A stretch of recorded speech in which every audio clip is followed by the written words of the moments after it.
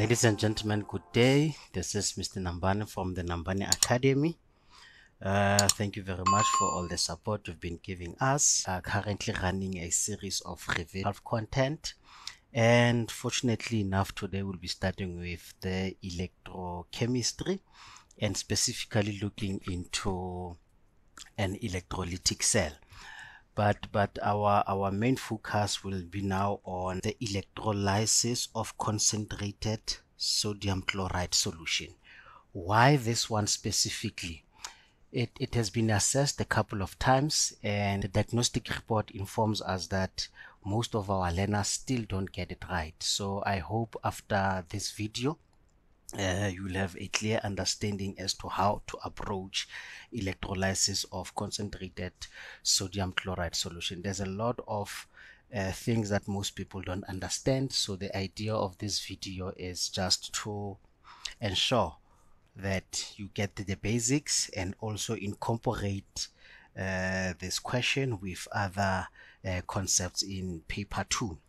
So without wasting any time, I would like to say thank you for your support and most importantly, uh, don't forget now to subscribe, uh, share and like the, the videos that we, we, we do and tell somebody of us just that we can grow the community uh, because it is what keeps us going in terms of making these videos. So now this question was taken from a previous question paper from DBE. I think it was May, June 2022. So before we get into the question specifically, I want us now to look into a point of saying, how will this cell now operate? This cell will have now my ions, which is sodium plus and Cl minus. But with that, because I am told that we have a solution here. So it means it i am working in the presence of now what of an aqueous solution. So it says to me water is now uh, present. From this statement i am told that now h2o must be must be present. So remember in our table of uh, standard potentials or reduction potentials we also do have water forming part of the standard potential. So what does it say? It says now i can have water that can either undergo oxidation or also undergo now a uh, reduction for that matter. So what does this say to me? It says now I have water that can either undergo oxidation or can either go reduction. So that is what most people now forget because they will only be now focusing on sodium chloride, uh, sorry, sodium ions as well as now the Cl minus forgetting that we now have water in the equa uh, in our standard reduction potentials and by so doing then they omit water and everything now becomes incorrect uh, because of that. So this is what i'm going to to try and explain. Let's start by saying what is it that will happen now at anode so at anode, we know we are going to have oxidation. So we are going to have two standard reduction potentials Uh, there.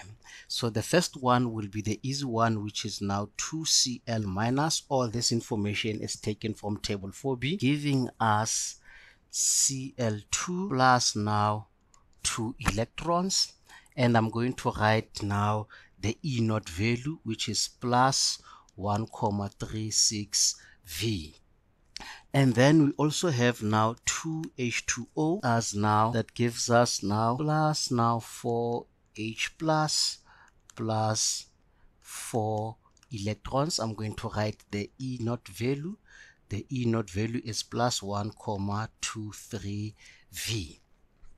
So this is now the two half reactions that we get at the anode. In this instance, we do not know which one is an anode. Is it x? Is it y? We do not know. But generally this is what we will have. So i am going now to change my pen and say what will happen now at cathode? At cathode, what will happen is we'll still have now two other uh, half reactions. The reason is that now, remember, sodium plus ions can undergo oxidation or reduction because it's still an ion so we need now to refer to our table also and you still have now water. So i'm going now to start by writing that we have now the water that can undergo reduction and that is now 2H2O plus 2 electrons giving now us H2 plus now OH minus I'm going to write the E naught value minus 8,3 V and we are still going to have sodium plus ions plus one electron giving us now sodium and I'm going to write now the E naught which is 2,71 V. So the E naughts are there as reference for you to check now on your table 4B. So now we need to check. The rule of thumb is just focus on the uh, half reaction that is just more positive because we are moving towards the revision uh, period i'm just interested in how to get the correct answers the science thereof shall follow so the question here says to me what must i do in terms of ensuring that i choose or write the correct uh, oxidation half cell. What is it that I can do in terms of writing now the correct oxidation half cell as well as a reduction half cell? So with this being said, it says to me, the rule of thumb is to choose the one that is more positive. So when I check the E naught value of Cl minus, it is plus 1,36V that is now more positive and when I check now at the cathode where reduction will take place the negative 0,83V it is the one that is now more positive compared now to the half reaction of sodium so what does this mean?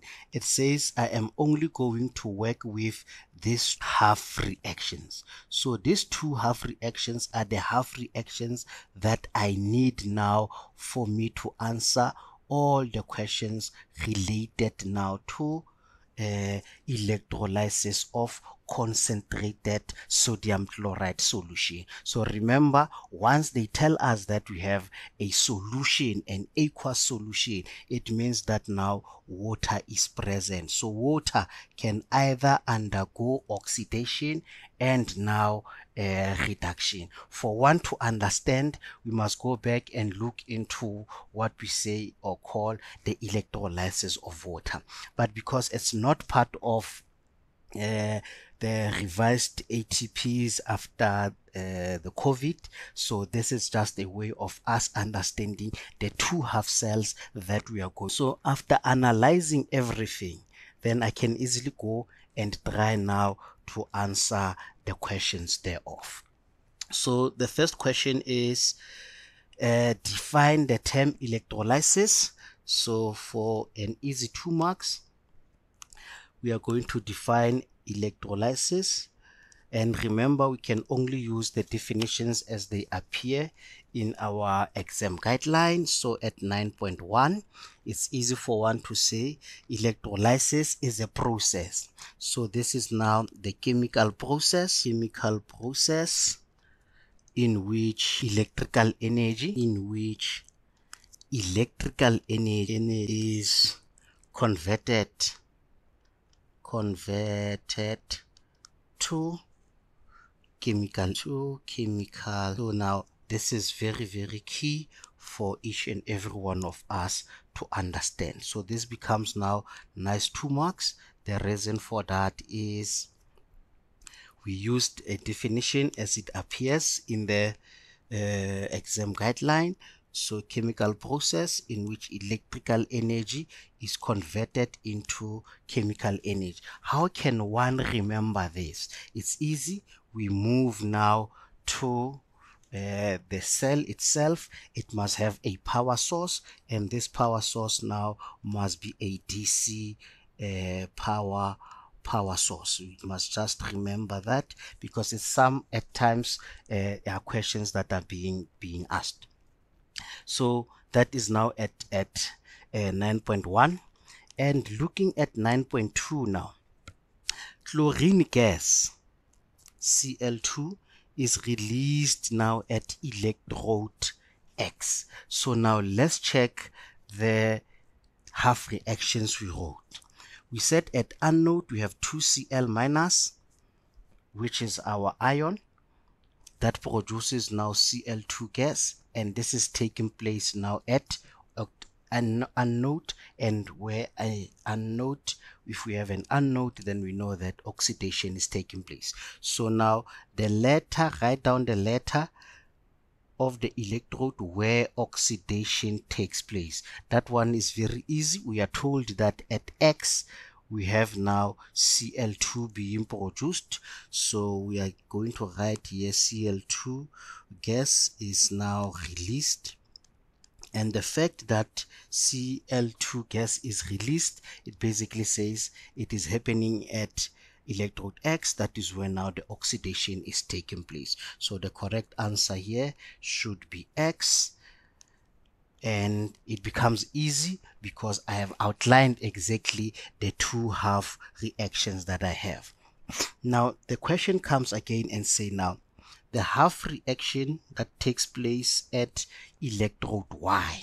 So we know now if this one is anode, then it basically says this one must be cathode and reduction must take place on on this one. So if this is the key thing or the information that I have extrapolated from my basic concept, then I can easily say at 9.22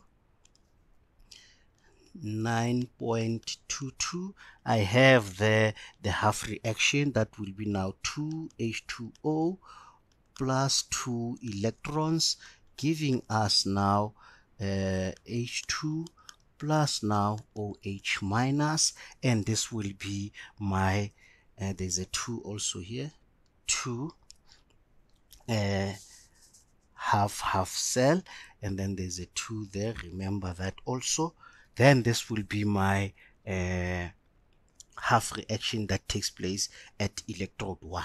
So the mere fact that I included or I wrote down the half reactions before allowed me now to be in a position of uh, ensuring that definitely I am writing everything the correct possible way we can. So the key thing here is it must be one arrow because it is reduction and it's either 2 or 0 don't use double arrows because we have committed that we are working now with a reduction half cell. Then this becomes an easy an easy 2 marks.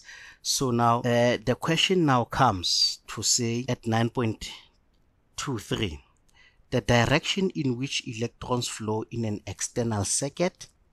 So because we said at x we have anode and anode or X oxidation it's now the loss of electrons. It means now our electrons must move in this direction there. And then moving in that direction is because uh, Cl minus it's now being uh, losing the electrons. So the mere fact that it's losing electrons the electrons will move from x to y.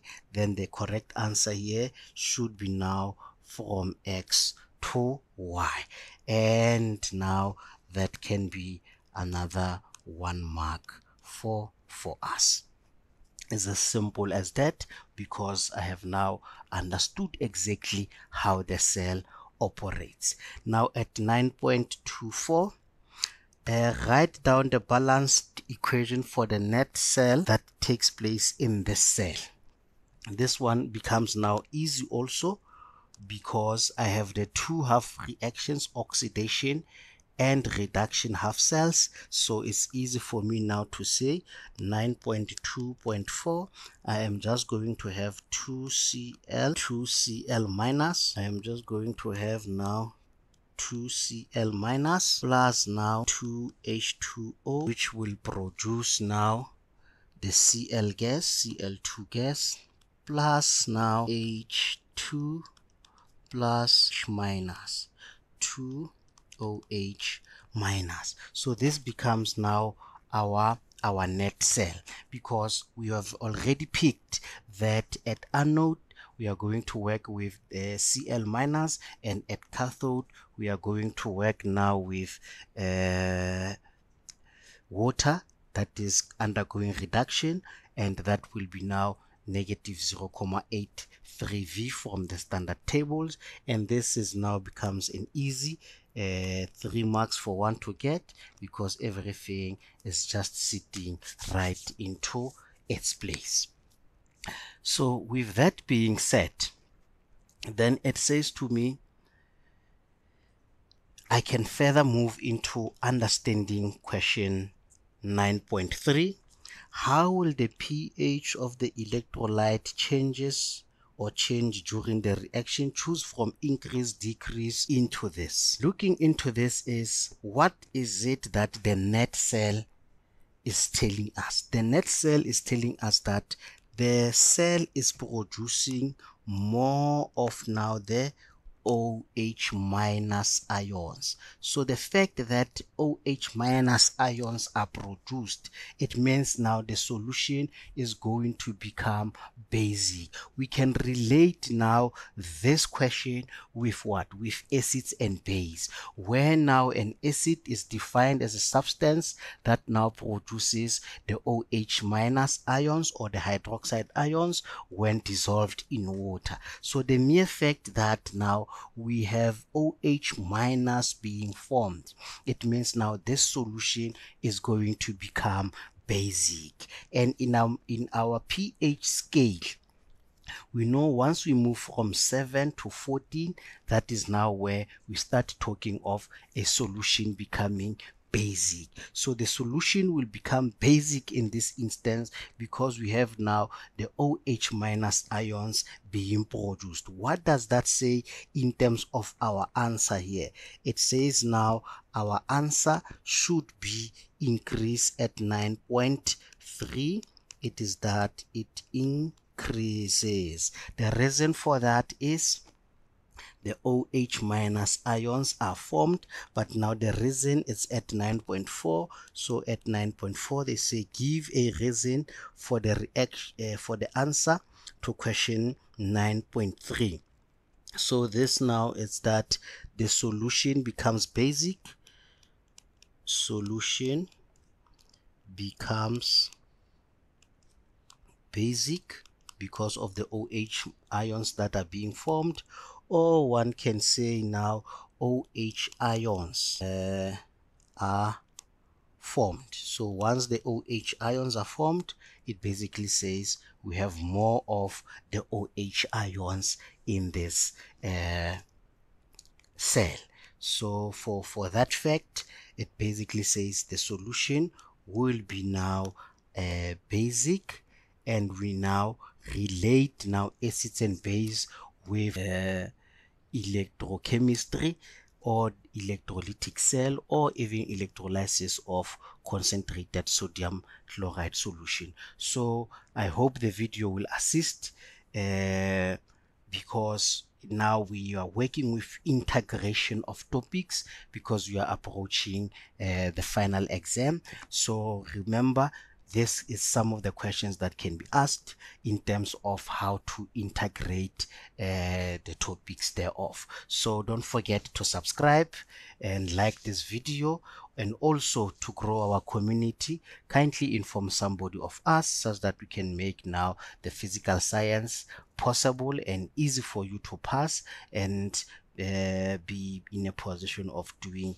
extremely well. So for me and the team. Thank you very much and have a lovely day